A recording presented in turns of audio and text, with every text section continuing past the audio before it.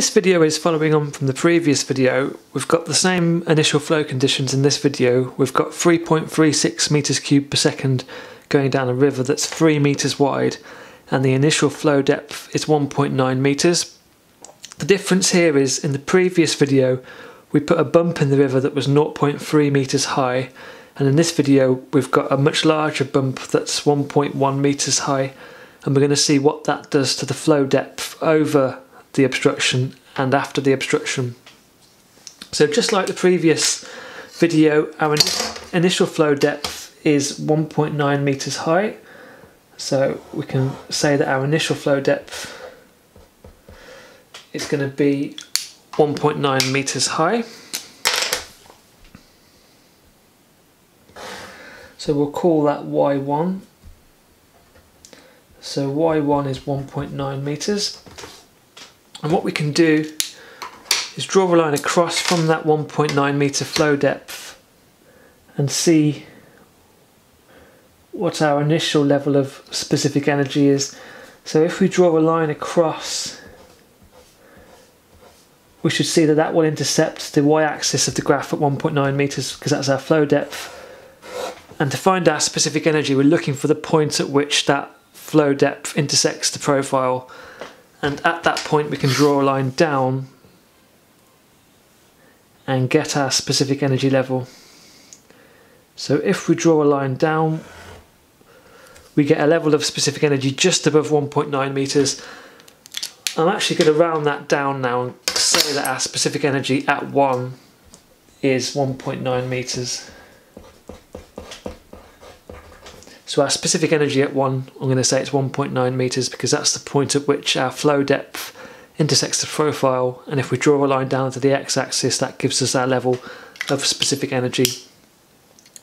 So what we want to know is what's going to happen when we put a 1.1 metre blockage in the channel. And like we said in the previous video, what this obstruction is going to do is it's going to take it's going to take energy out of the flow. So the total energy between point 0.1 and point 0.2 are going to remain the same, but the actual energy in the flow is going to be reduced at 2 because we're going to be losing energy in the flow to the potential energy of this blockage.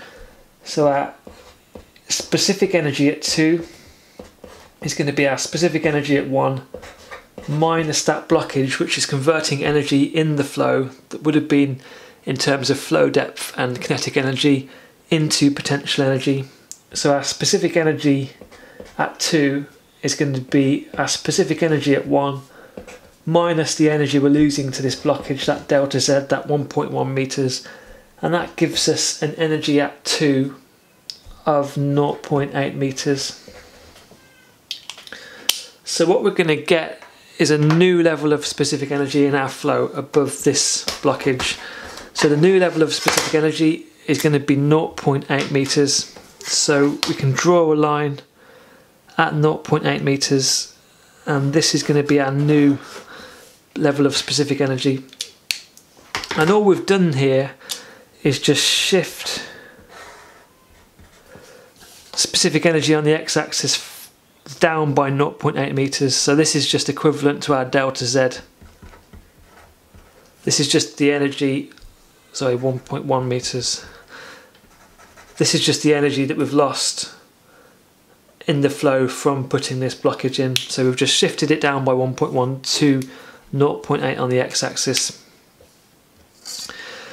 So what we're going to do to find the flow depth is we're just going to follow the profile exactly the same as the last video. We're going to follow the profile from where our initial flow depth and specific energy level started and we're going to keep on going until we get to our new flow depth. And what we can see is the intersect of the new level of specific energy with the profile is occurring at 0.5 meters, which is also the critical flow depth.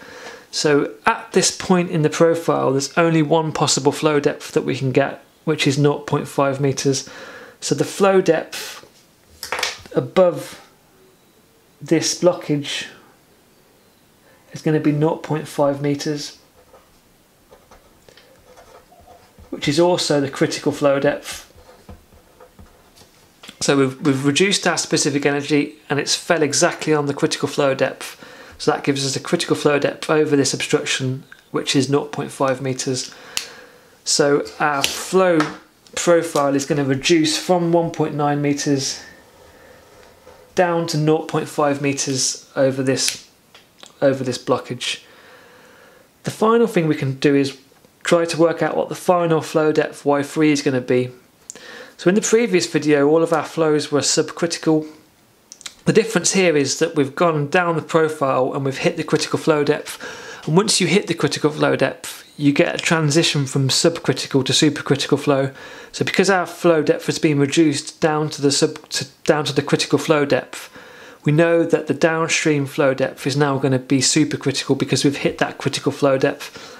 So after we move past the blockage, we go back to our initial level of specific energy, but now the flow depth is going to be the alternative flow depth when the flow is supercritical. So our new flow depth is going to be 0.2 meters, which is the alternate flow depth at that level of specific energy. So the specific energy is still at the initial level of specific energy, but because we've gone past the critical flow depth, because we've hit the critical flow depth, our final flow depth is now going to be supercritical. So our final flow depth Y3 is going to be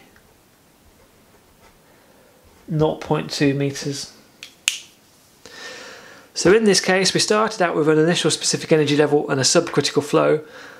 The, the blockage was such that we lost 1.1 meters of energy to the flow, which took us down to this, the, the critical flow depth. So the flow depth over this obstacle was the critical flow depth. And because we hit the critical flow depth, that means we had a transition from sub subcritical to supercritical flow. So the downstream flow depth is going to be supercritical which corresponded to a flow depth of 0.2 meters. Thank you.